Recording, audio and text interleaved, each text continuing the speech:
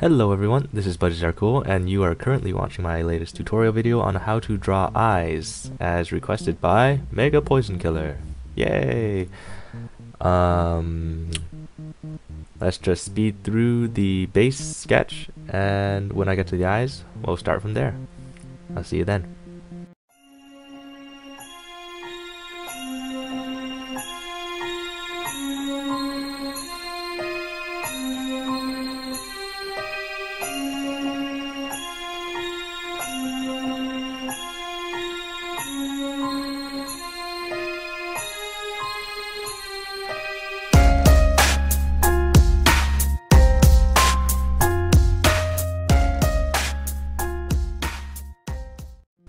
And we are back.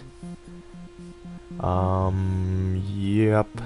So you can see, I drew, you know, creepy eyeless people.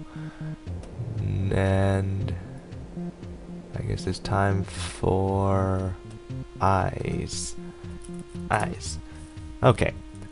So the first step to drawing eyes is, uh, oh, this is kind of weird. This is so out of order than what I usually do. I usually pretty much start off with eyes, but I, am not sure why I didn't just now. Anyway, uh, you can see that I do the guidelines on the face, which means I, I don't know. Oh, it determines or helps indicate which way the character is facing. So this guy is facing a little to the right.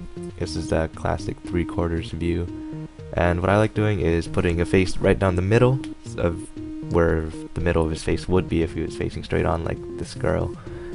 And uh, then I draw a fairly horizontal line right in the middle, or I try to get a little in the middle-ish.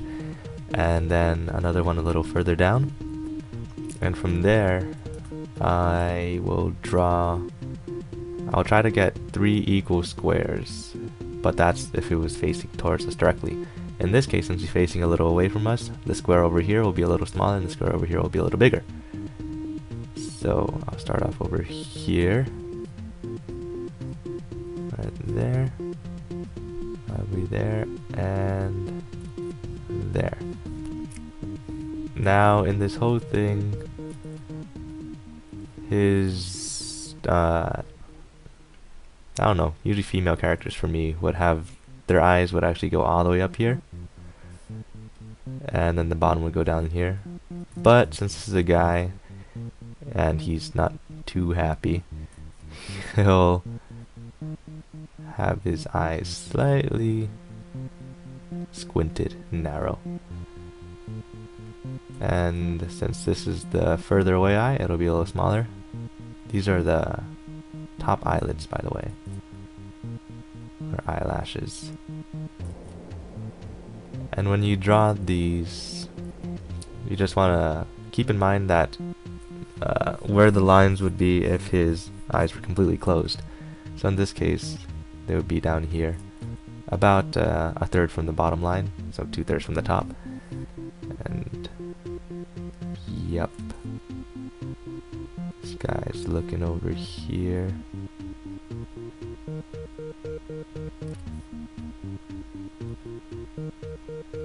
So yep, these are the irises. And he's looking to his right at this person. He doesn't like being touched. I can relate. so yeah, that's that's him. Put his nose over here. And like I said before, he's not very happy, so it's time to put the eyebrows on. This one's like that. This one's kind of up there. Doesn't know quite how to respond to this situation. It is a confusing situation. So, that's him. Uh, notice that I barely did anything for the bottom eyelids that's pretty much just a matter of character design and preference. So I usually don't have much of bottom eyelids. And also you can kind of fill it in here And then little shinies for him. There. Net, net, net. Yeah. And if you... Oh my gosh, wrong one. Actually, usually I would draw in the pupils first. Or at least put in little indicating things before the shine. So you can kind of erase over it. So yeah, there's that guy. He's a little perturbed. Now, that's the three quarters view. Here's a side view. And we'll have her kinda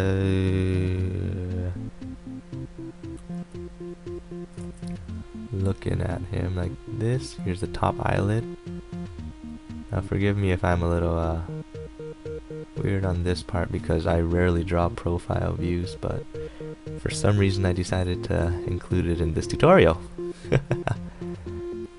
so I like having this at almost a 90 degree angle, usually. And then the bottom one just kind of connects. In this case I do draw the full bottom eyelid just because, you know, I'm not really sure why. It just makes sense physically, I guess.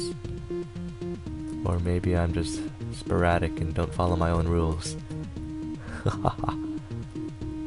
and here is that part of the pupil, not pupil, iris. Here's the bottom of the pupils. Try to fill that in a little. Ooh, that's kind of weird. Okay. And then she gets bigger shinies. And since it's a girl, I'll assume that she's wearing some eyeliner or whatever that is. Is it eyeliner? I'm pretty sure it's eyeliner. And make her top eyelash thicker. Bit on the bottom. We can actually erase some of that. And then to the eyebrows. Remember your eyebrows, guys, because I have been known to forget eyebrows in many of my first drawings. During the first year, it's just, nope, no one has eyebrows. Unless if they're confused, in which case they have that typical one raised eyebrow thing. kind of like this guy. And yeah. That's her with her little side profile view. And now let's go on to this one. This one will be fun. So I'm just rotating the canvas right now. So here's gonna be the one that I draw most often, I think. I will go back to the box idea. I like to start the boxes on the outside because a good indicator is to be fairly close to the side of the face when the character is looking straight on. And then from here, you can go two-thirds away until the middle line, of course, and then one-third away from there. And look, one box, two box, three box. Yay, boxes.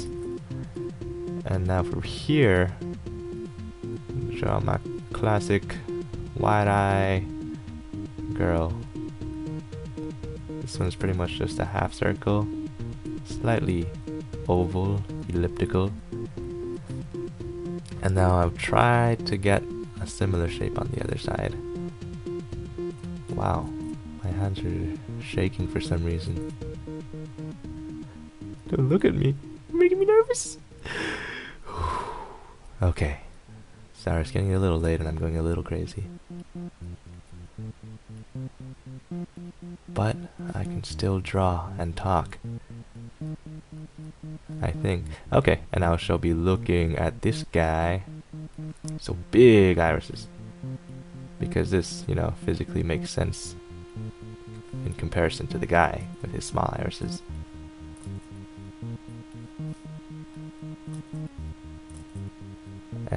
And there are the small bottom eyelids again.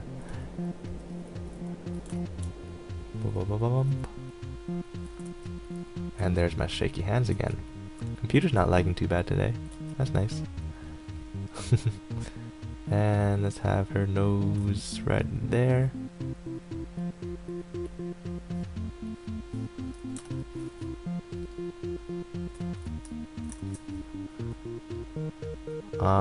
Okay, something went horribly wrong. Let's get her her whole face, moving it down, and scrunching it a teeny bit. Yeah, okay, that's a little better. Her eyes were a little too far up the head, which made her look strange. Which means I can go over here and raise that initial guideline that I poorly drew during the sped up portion. And yay for layers. Now just kinda that like that. And there. Like that, like that. And then big shinies.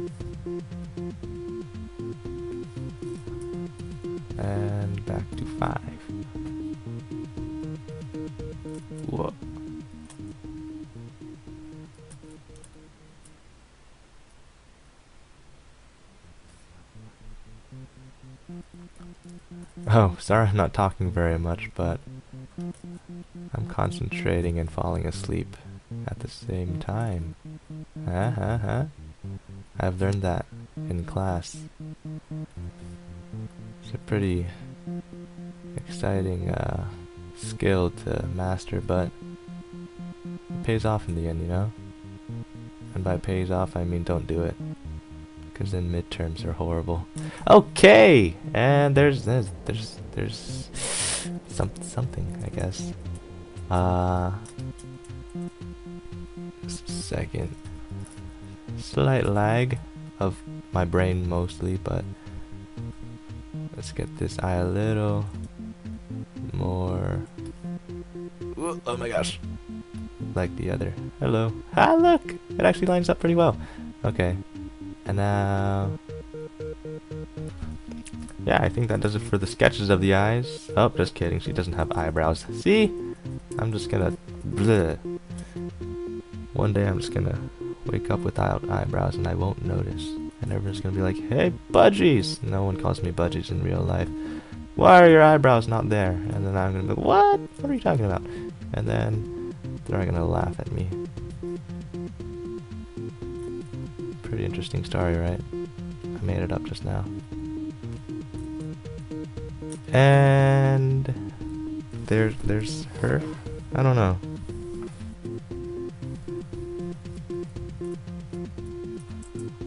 Mhm. Just trying to get the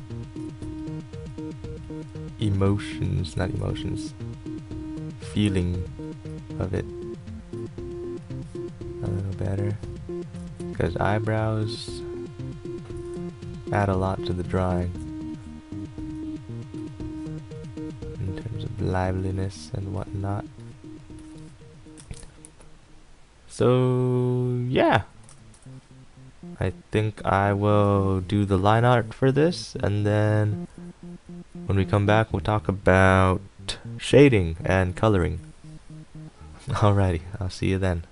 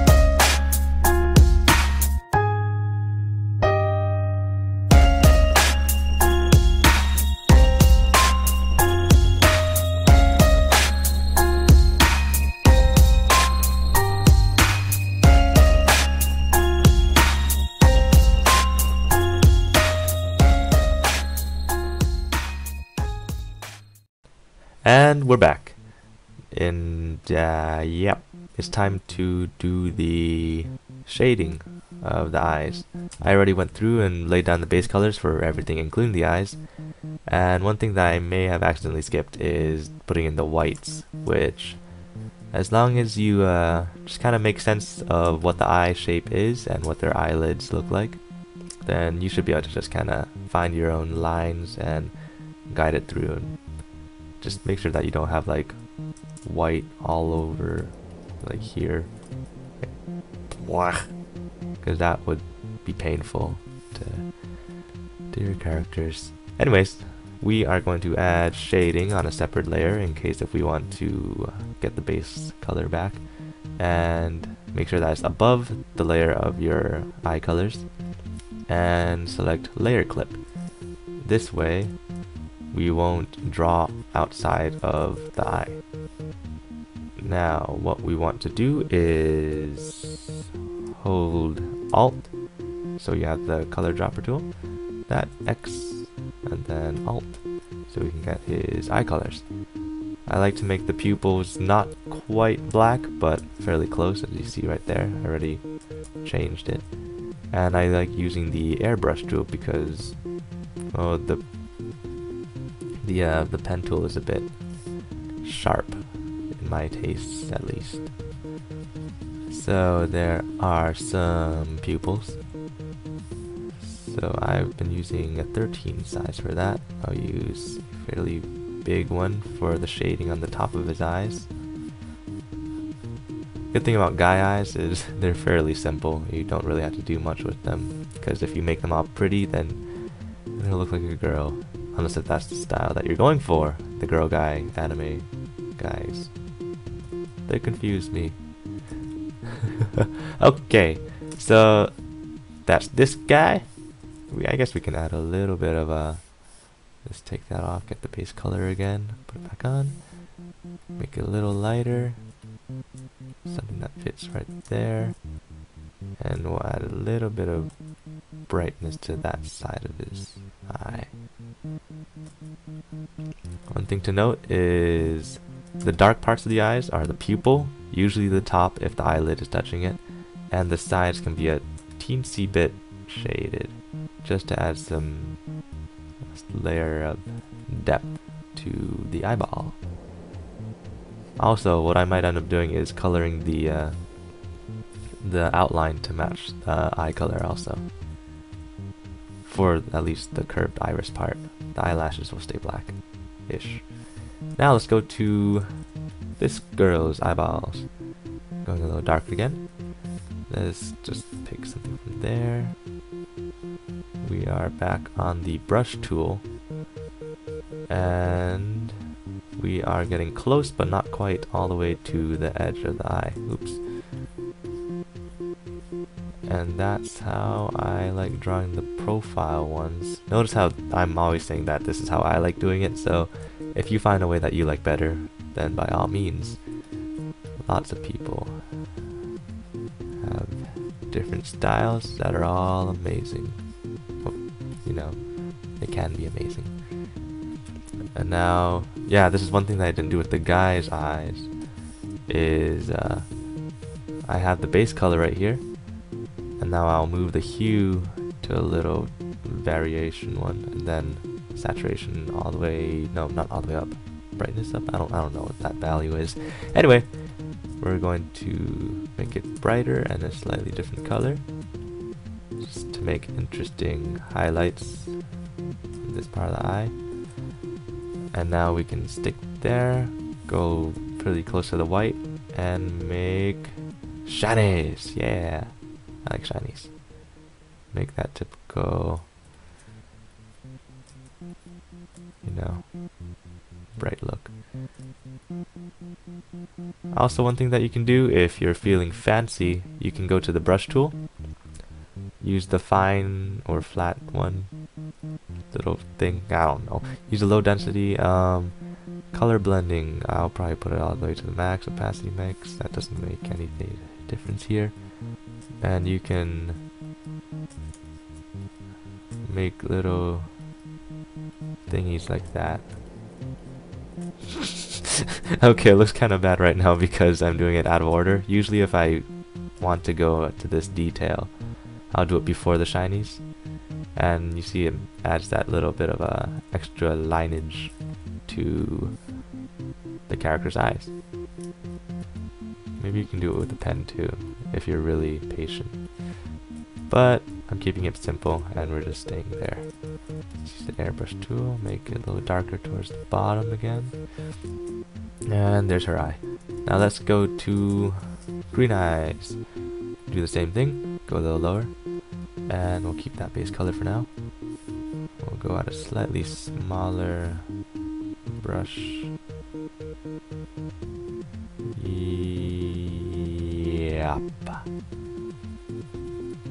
I'm just gonna bring little curves. Let's outline it. Then use a bigger one to fill in that part. And the top doesn't really matter because it's just to be all shaded in anyway.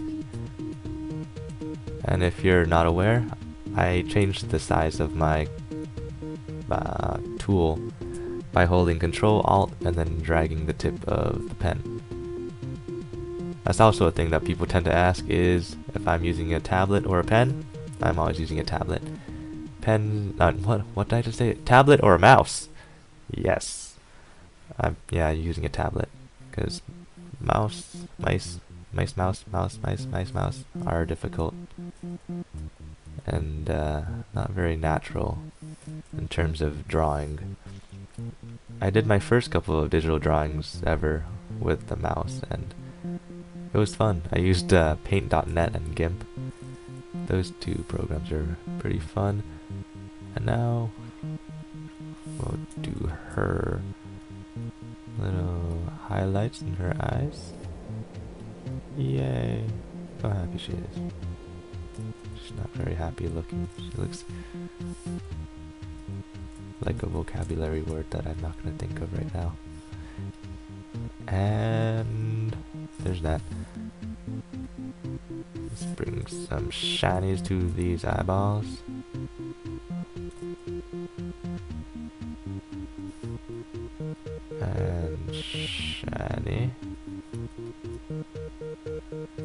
And secondary shiny.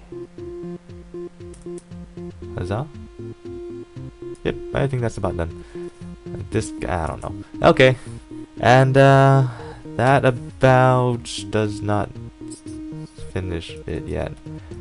One thing that I always forget or neglect because it's kind of awkward in my blah, in my opinion is adding the the shadings to the eye whites because I don't just it confuses me. Anyway, there's there's that for this guy. Oh, I guess if I'm doing this style, I shouldn't use cel shading. So there's shading at the top of his eyes, shading at the top of her eyes, at the bottom-ish a little too, shading at the top of her eyes. As you can tell, it's barely anything, but it it does add at the end. And I think that about sums up all of, no it doesn't sum up anything, that ends the process of the eyes. I'm currently in a lag spike, it's pretty exciting. Um, but I guess I'll just summarize and then the rest of the video will just be me finishing this drawing in time lapse or just fast forwarded. Hello? Hello? Hello, hello, hello, hello. No, no, no. Okay, I'm just gonna talk. Um, um, um, um, yep. So, just remember the first thing you have to do, do the face guidelines to kind of get a bearing of where the eyes are gonna be with respect to the rest of the face. Also remember that the head is a curved and somewhat spherical shape. So just remember that you don't want to have a flat face, which generally isn't a natural thing in the world. Then you can do these equal boxes and then place the eyes in the boxes with the limits for the top, bottom, left, and right of the eyes touching the boxes if they're completely open, of course. And then do the top eyelids, then the irises, the bottom eyelids, if any, because they tend to not be too emphasized. And then eyebrows, because your character without eyebrows is a sad character, like a lot of mine. And then the details and color, which are just the shinies that we just went over, and all the shading. Alright, I hope you enjoyed the video. Hopefully you learned something, or even got this far in the video, it's kinda long. And, uh, yeah, this is Budgies Are Cool. Thanks again for watching.